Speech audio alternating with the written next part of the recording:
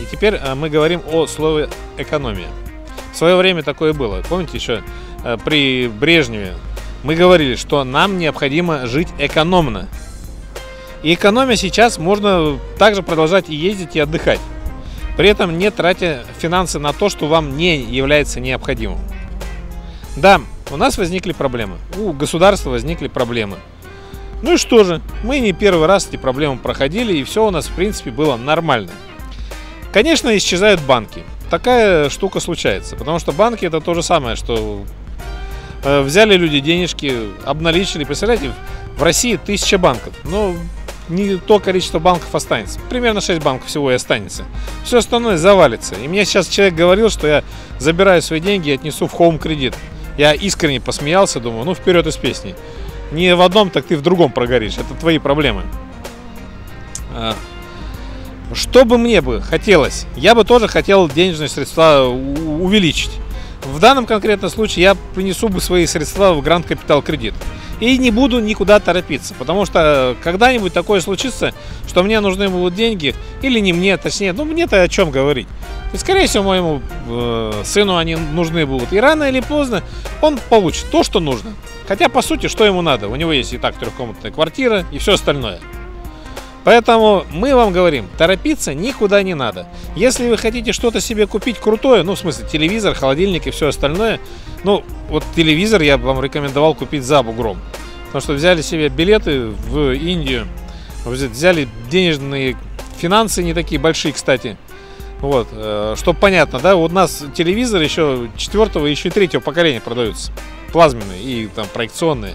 Во всем мире уже 12 -е. Только мы переплачиваем за третье поколение столько, сколько стоит 12 -е. Ну, это нормальное явление, что вы хотите. И спокойненько принесли то, что вы хотите.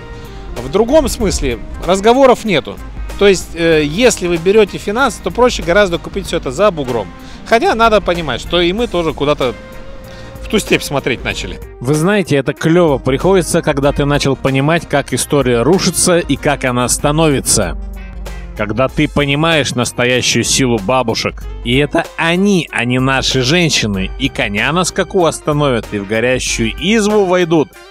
Да и не надо говорить, что у бабушек все дряхленькое становится. Как они вырывают свои деньги, я видел летом 1995 года.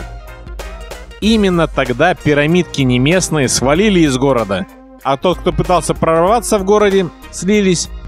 А потом появились банки – самое забавное, к таким банкам отношение было другое. Тысяча банков и самый главный Сбер.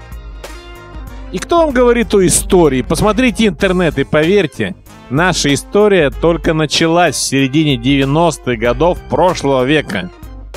Все они валятся, но народ молчит. Другой вариант, как заработать деньги, не беря кредит. Да очень просто.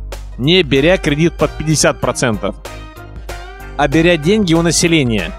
Кто может справиться, только тот, кто работает. Много таких не знаю. То есть, прежде чем нести деньги, вы подумайте. 23-25%, ну максимум 27% это максимум. Выше читайте пирамидки. Люди приходят. И вы всем выдаете денежные средства? Да, мы всем выдаем денежные средства. А, такая ситуация возникает, да, вот лопаются структурки такие, да? Э, их э, много разных в городе. Вы работаете уже не первый год, не второй, не третий, почти пять лет уже работаете, да? И вот люди приходят и выдают средства. Типа, типа, типа у вас. Но по сути, что это такое? Это пирамидки, которые набирают, набирают свои средства. То есть надо понять, да, вот они говорят, что там 50, 60, там 120 процентов годовых, но рано или поздно они просто исчезают.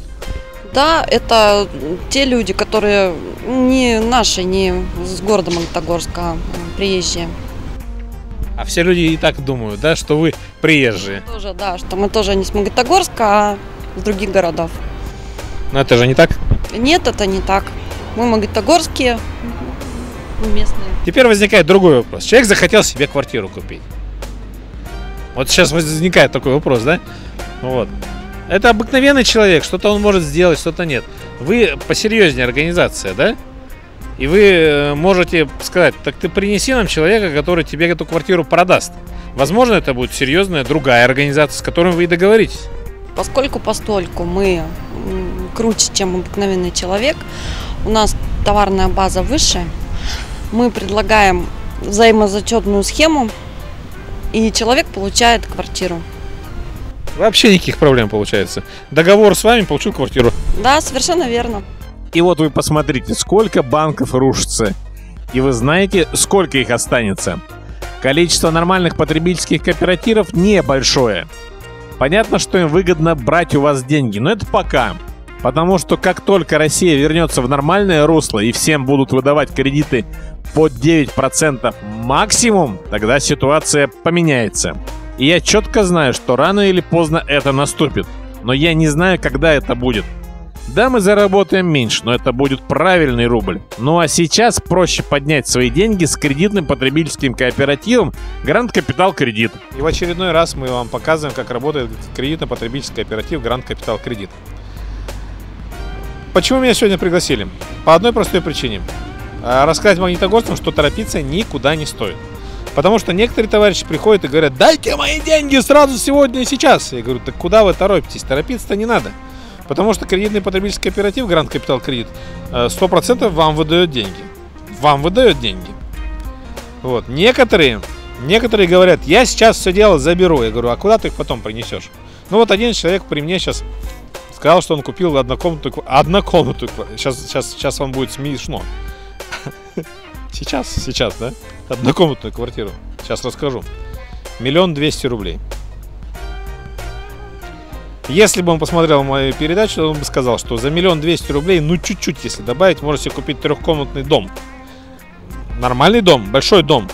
И вы будете жить безо всяких там соседей справа, слева и вообще. Надо смотреть телевизор. Вот. Когда я ему сейчас сказал, продай свою квартиру, отдай свои деньги купи себе дом, он сказал, не-не-не-не-не-не, я этого не сделаю. Я говорю, почему? Ну почему? Ну, не мои проблемы. Что в моих руках? В моих руках список должников. Их не так уж и много, кстати. Э, всего, ну, даже меньше, чем 50 человек. Из них, это по решению суда, я могу прочитать, 50% э, э, будет сидеть. Потому что сумма там весьма приличная. Все остальные товарищи, они никуда не выйдут. И на этом кредитный потребительский кооператив сказал, все, должников больше не будет. Не будет больше должников. Потому что проще ваши деньги брать, на них наворачивать, давать вам замечательные проценты и уже потом спокойно жить. Ну, чуть-чуть, подождите. Ну, чуть-чуть, немножко.